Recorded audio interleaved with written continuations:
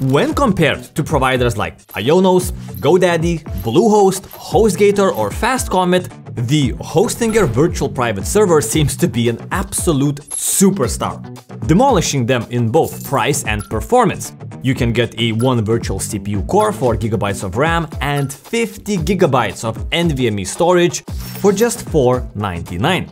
So, should you? Well, it kinda all falls apart when you take into consideration two companies that actually specialize in virtual private servers, Contabo and Hetzner.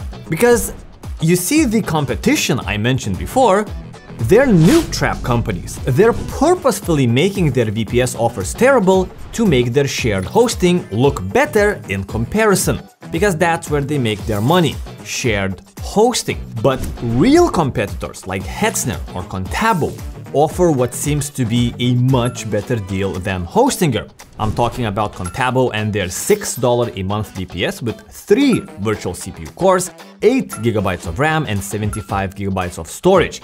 That's 3 times more CPU power, double the RAM and 50% more storage.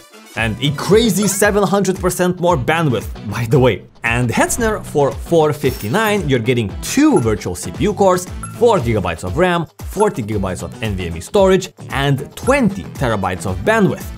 And you've got to keep in mind that, yes, Hostinger does give you a 10% discount if you use the link in the description together with the code EMITREVIEWS, but there's not really an option to pay monthly if you want the lower price. And if you do buy for the longer period of time, as soon as that period is up, your price goes up as well, from $4.99 to $9.99.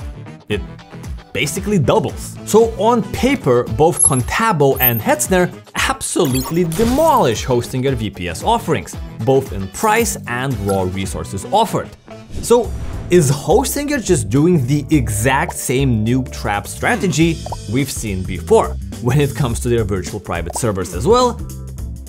Uh, no, not really. If we do a speed test, you can see that all three providers perform extremely similarly. It's because they all use top-of-the-line hardware like AMD EPYC CPUs and NVMe storage. The difference is in the quantity of the resources, not the quality. But even with the fewer resources per dollar spent, Hostinger still has its use cases and shines in specific categories. For example, even though Contabo offers 32 terabytes of bandwidth versus 4 terabytes of Hostinger, Contabo has a network speed variable of 200 to 600 megabits per second. But the faster speed is not meant to be constant, it's only meant to be used for a short period of time. So in reality, you'll be stuck with around 200 megabits per second transfer speeds. If you use too much, they can actually penalize you and drop it down to 100 megabits per second. While the Hostinger allows up to 1 gigabit transfer speed constantly.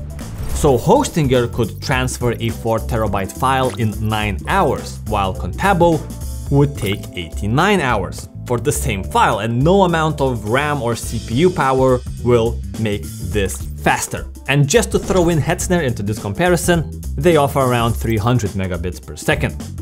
So it would transfer the same file in around 30 hours, making Hostinger a clear winner in network transfer speeds. Where is this speed advantage best utilized? Mainly game servers. If you need to host a game server, you usually need a lot of RAM and a fast connection to host without lag.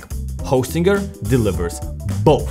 And they notice because you can buy a VPS with a game panel pre-installed meaning you will be able to manage which game server you want to host, which mods you want to use quite easily, and create server-specific rules, essentially making the Hostinger VPS the best choice when it comes to creating servers for Rust, Minecraft, Enshrouded, Valheim, etc. Additionally, the 1 gigabit per second connection can be beneficial for image-heavy sites, video streaming sites, and backup operations.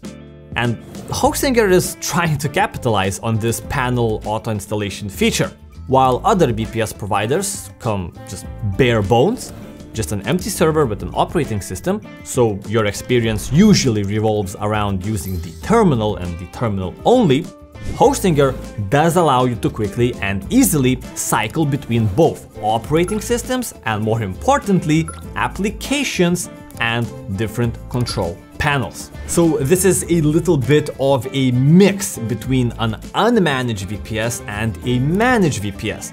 The Hostinger virtual private servers are still unmanaged, but they have these small quality of life tweaks that make it a midway to manage VPS. And the price also, of course, does reflect this. They're not doing this from the kindness of their heart. Because keep in mind that yes, you can easily install these control panels, but some of them like cPanel or Plesk still require you to buy a license to use them. The license is not included for free.